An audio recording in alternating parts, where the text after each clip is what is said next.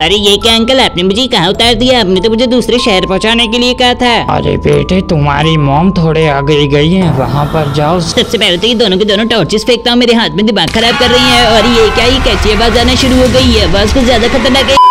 आज माइनक्राफ्ट में शिनचैन के हाउस में आ गई है कमला नाम की भूतनी। ये है शिनचैन इस माइनक्राफ्ट के हाउस का ओनर और आज पूरी कहानी इसी से शुरू होने वाली है बट आप लोग उससे पहले इस वीडियो को लाइक करके चैनल को सब्सक्राइब कर देना तो चलो अब इस कहानी को शुरू करते हैं। आज बहुत ही सुहाना मौसम है और शिनचैन अपने ट्रैम्पोलिन पर बहुत ज़्यादा मज़े कर रहा है क्योंकि आज उसको कोई भी काम नहीं है और स्कूल की भी छुट्टी है। अरे वाह आज तो ट्रैम्पलिन पे मैं बहुत ऊपर जा रहा हूँ, लेकिन ये क्या मेरे को तो डैमेज लग गया लगता है मेरे को मुझे नहीं लेने चाहिए शीरो। तुझे भी एक दो घंटे में घुमाने के लिए लेके जाऊँगा और घोड़ू तो मेरे साथ रोज ही घूमता है। अरे एक मिनट, मैंने आज प्यारी को खाना नहीं खिलाया है। फटाफट से प्यारी को खाना खिला देते हैं। प्यारी कितनी खुश हो गई है। चलो प्यारी को खाना खिला दिया, मैं भी खा लेता हूँ। शायद मॉम ने अब तक खाना बना लिया होगा। मॉम कहाँ हो, मैं आ गया हूँ। खाना आपने क्या बनाया है? जल्दी से लगा दो, भूख बहुत तेज लगी है। अरे ये क्या? मॉम तो यहाँ पर है नहीं और फ्रिज में भी खाने के लिए कुछ भी नहीं है। यानी कि आज मेरे को पूरे दिन भूखा रहना पड़ेगा। रुको, मेरे को मॉम को आवाज़ लगानी पड़ेगी। मॉम, क्या आप उस वाले रूम में हो? हेलो?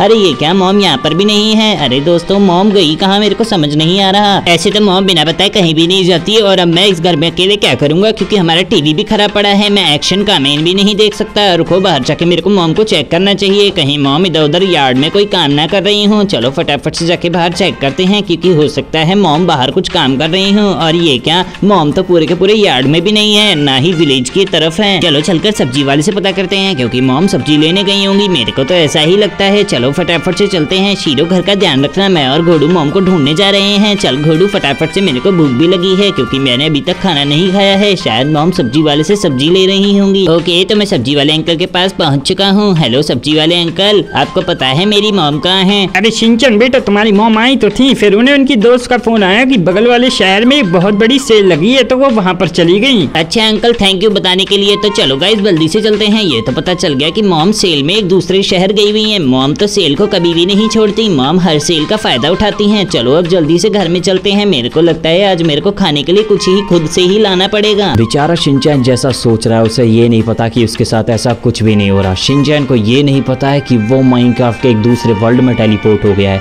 जहाँ उसे सब कुछ दिख रहा है, बस सिवाय अपनी मोम के। तो चलो, मैं जाके खुद ही कुछ खाने पीने का ले आता हूँ, क्योंकि मुझे लगता है मोम शाम तक आएँगी, क्योंकि मोम सेल में तो बहुत सारा सामान लाती हैं। चलो, मैं पास वाली दुकान से जाके चोको चिप्स खरीद लेता हूँ, उसे खाने में मज़ा भी बहुत ज़्यादा आने वाला है।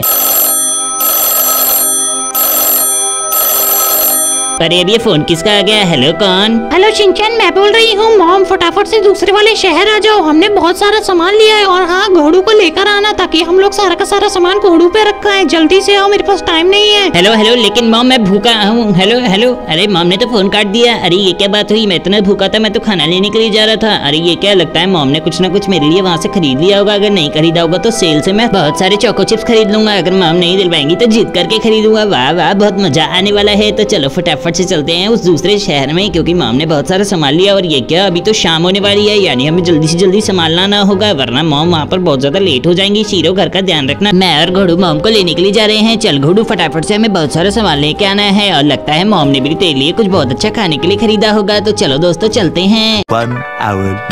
अरे ये क्या आज तो बहुत ज़्यादा जल्दी अंधेरा हो गया। हेलो अंकल सामने से हटो। आप भी कहाँ पर बोट लेके खड़े हो? मेरे को जल्दी से जाना है। अरे बेटी बारिश होने की वजह से रोड पे पानी भर गया है तुम्हें बोट से ही दूसरे शहर जाना पड़ेगा। ये घोड़ू वोड़ू मत लेके जाओ। बेचारा शिनचैन अपनी आने वाली मुसीबत से बिल्कुल ही अनजान है। उसे कुछ नहीं पता कि उसके साथ आगे क्या होने वाला है। बस एक डायमंड दे देना बेटे। हाँ हाँ अंकल ये लो डायमंड अब फटाफट से मुझे दूसरे शहर पहुँचा दो और आपकी बोट में ही मैं सामान रख के लाऊँगा। हाँ हाँ बेटे बिल्कुल रख लेना कोई मना थोड़ी है। अभी भी बेचारे शिनचैन को एक परसेंट भी पता नहीं लगा की उसके साथ आगे क्या होने वाला है। लेकिन आप लोग टेंशन मत लो आप लोग को सब पता चल जाएगा। बस इस वीडियो को लाइक और चैनल को सब्सक्राइब कर देना।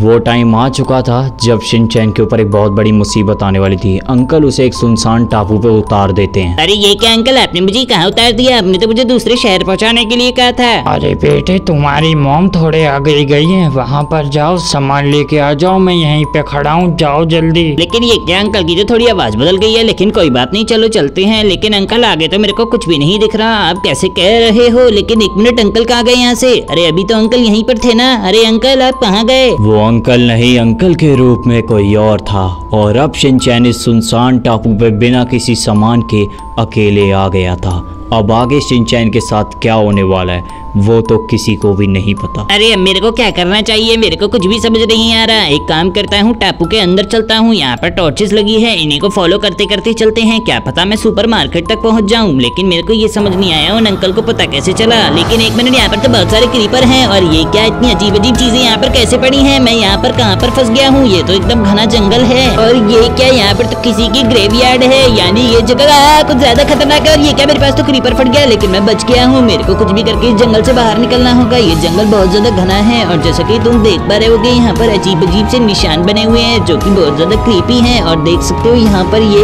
यानी कि भूत ऊपर रहता है क्या? नहीं नहीं, मेरे को ऐसा कुछ भी नहीं सोचना चाहिए, क्योंकि मेरे को ये सब चीज़ें देख के बहुत ज़्यादा डर लग रहा है। मैं क्या करूँ यहाँ से निकलने के लिए? सबसे पहले तो ये दोनों के दोनों टॉर्चेस फेंकता हूँ। मेरे हाथ में दिमाग खराब कर रही है, और ये क्या, ये कैची आवाज़ आना शुरू हो गई? है बस कुछ ज़्यादा खतरनाक है। यहाँ से भागो, मेरे को कोई बचाओ। ये कौन आ रहा है? मेरे को कुछ समझ नहीं आ रहा।